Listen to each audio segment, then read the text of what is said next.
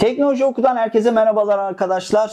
Bugün sizlerle birlikte elektrikli otomobil almak ya da almamak başlığını beraber inceleyeceğiz. Öncelikle şunu belirtelim. Malum ülkemizde elektrikli otomobillere tam olarak geçiş sağlanabilmiş değil. Atıyorum bir Norveç'te %80'lere falan vurdurdular elektrikli otomobil satışını ve satışların büyük bir bölümü de Tesla'dan oluşuyor. Ama Türkiye'de de arkadaşlar elektrikli otomobiller yavaş yavaş böyle biraz daha kalkmaya başladı. Neden? Bir kere TOG geldi. Önümüzdeki süreçte TOG'un üretimi arttığında muhtemelen yollarda daha fazla görmeye başlayacağız. İkinci bir sebep de arkadaşlar Tesla geldi. Tesla oldukça uygun bir fiyat etiketiyle geldi. Normalde sarı sitede 2 milyon 800 bin liraya satılan otomobilini 1 milyon 600 bin liradan satışa sundu adamlar. Ve ilk teslimatları da gerçekleştirdiler.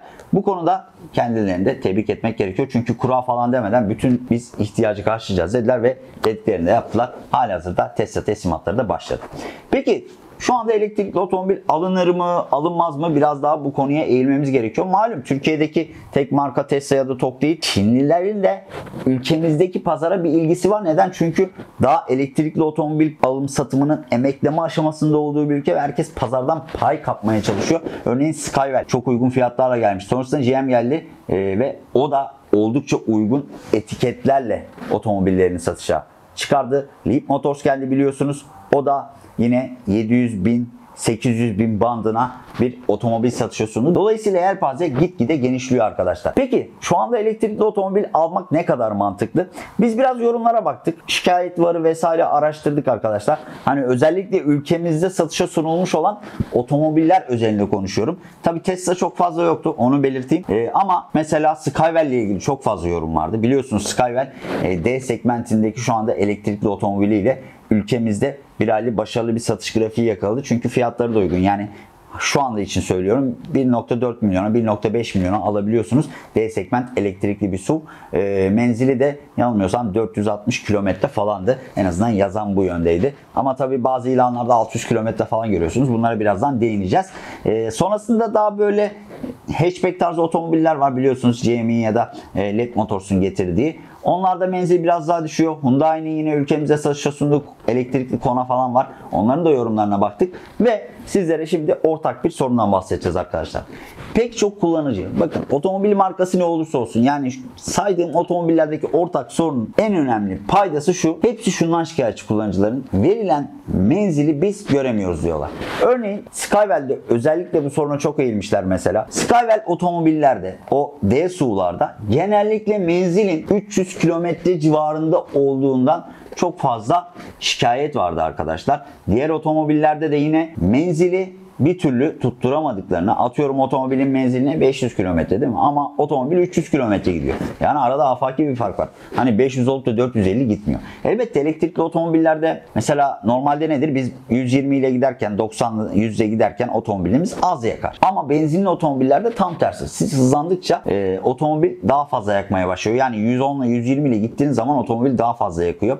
Hızınız arttıkça da daha fazla elektrik tüketimi artıyor arkadaşlar. Bu var ve havadan çok etkileniyor. Yani hava koşulları, havanın biraz soğuk olması mesela menzili aşırı düşürüyor. Yine aynı şekilde e, içerisindeki yolcu vesaire içten yanmalı motorlara göre daha fazla etkiliyor elektrikli otomobilleri. Bu menzil konusunda çok fazla şikayet vardı. Bunu sizlere bir kere belirtelim. Özellikle Skywell tarafında arkadaşlar. Yani şikayet vardı biz okuduk. Özellikle Skywell'den servisten vesaire çok fazla şikayet eden vardı. O yüzden de ben baktım mesela ikinci el satan bir sürü adam var. Yani adam almış mesela 2000 kilometre binmiş satıyor, 3000 kilometre binmiş satıyor ve bunlar al satçı değil gerçek biniciler. Zaten ilana baktığınızda da anlıyorsunuz. Bir diğer konu ise arkadaşlar tabii ki uzun yol çekme keşi. Bir arkadaş vardı 4 saatlik yolu 8 saatte gittim diye yazmış. E, kendisi İzmir'den yanılmıyorsam İzmir'den Aydın'a mı ne gitmiş? E, İzmir Çeşme gibi olabilir yani. 4 saatlik bir yolmuş ama kendisi 8 saatte gittiğini yazmış. Bunun sebebi ise arkadaşlar tabii ki şarj. Yani yani yolda otomobilini iki kere şarj etmek zorunda kalmış ki zaten iki kere şarj ettiği kadar bu arada otomobilde Zoe olduğunu belirteyim. Renault Zoe. İki kere şarj ettiğiniz zaman zaten işte sıra bekle, otomobilini şarja tak. Hızlı şarjda şarj olsa bile işte 1,5-2 saat sürüyor zaten malumunuz.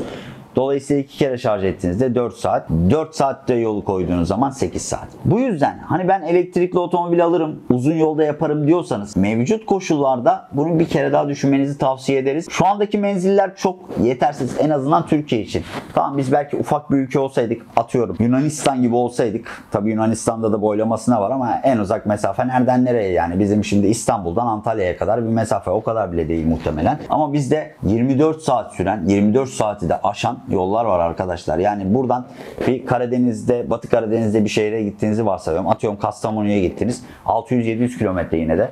Dolayısıyla bunu karşılayabilecek elektrikli otomobil menzili çok az. Ki ülkemizde yok. Mesela TOK bile arkadaşlar 353-400 kilometre menzili var diye duyuruldu. Acaba uzun yola çıksak gerçekte kaç kilometre menzil verir bize? Bu da bir soru işareti. Dolayısıyla elektrikli otomobillerde şu anda uzun yol yapmak çok da mantıklı değil. Bunu bir kenara koyalım. Bu bir. İkincisi arkadaşlar hala hazırda ülkemizde hala elektrikli otomobillerin şarj istasyonları yaygınlaşmış değil. Sürekli olarak haberler okuyoruz. İşte Tesla Türkiye'ye şu kadar şarj istasyonu yapacak. İşte TOP şu kadar şarj istasyonu girişiminde bulunacak. İşte Shell'le anlaşıldı. Bilmem kimle anlaşıldı. Ama gelin görün ki ortada çok fazla somut bir adım göremiyoruz. Özellikle benzin istasyonlarında elektrikli şarj çok fazla yok. Bakıyorsunuz uygulamadan elektrikli şarj var gösteriyor. Gidiyorsunuz adam bozuk diyor mesela. Böyle çok fazla şeyle de karşılaşabiliyorsunuz. Genelde şu anda İstanbul'daki e, biraz daha böyle lüks AVM'lerde elektrikli şarj noktaları koyulmuş durumda. Bazı rezidanslarda vesaire zaten elektrikli şarj noktaları var. Ama onun dışında arkadaşlar mesela Amerika'da nedir? Yol kenarında var ya. Gidiyorsunuz arabanızı normal bir yere park ettiniz. Orada elektrikli şarj istasyonları bulunuyor. Direkt olarak arabanızı şarj edebiliyorsunuz. Türkiye'de böyle bir durum şu anda söz konusu değil. Dolayısıyla bunlar elektrikli otomobillerin önünü tıkayan engeller. Ha nedir? Ben şehir içinde kullanacağım diyorsanız evden işe gideyim, işten eve geleyim. Öyle çok fazla bir menzil yapmam. Eğer şarj kablomu atarım, şarj ederim diyorsanız o zaman bir sıkıntı yok arkadaşlar. Ama yani ben normal kullanım otomobili almak istiyorum. Uzun yola gideceğim, kısa yol yapacağım. Evden işe, işten eve değil sürekli gezerim, tozarım.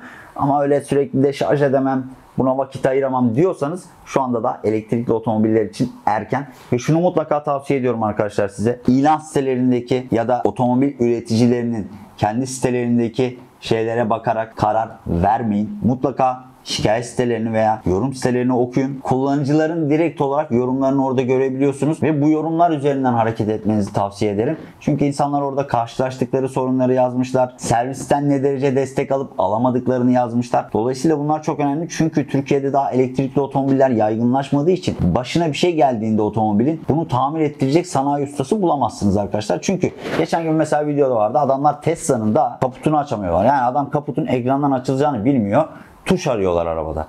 Dolayısıyla elektrikli otomobil almayı düşünenlerin bir kez daha iyice araştırmalarını, özellikle şikayet sitelerini ve yorum sitelerini okumalarını tavsiye ederiz. Sizin de bu konu hakkında bizlere söyleyecekleriniz varsa aşağıda yorumlar kısmında bizlerle paylaşırsanız seviniriz arkadaşlar. Başka bir videoda görüşmek üzere hoşçakalın. Bizleri sosyal medya hesaplarımızdan takip etmeyi de unutmayın.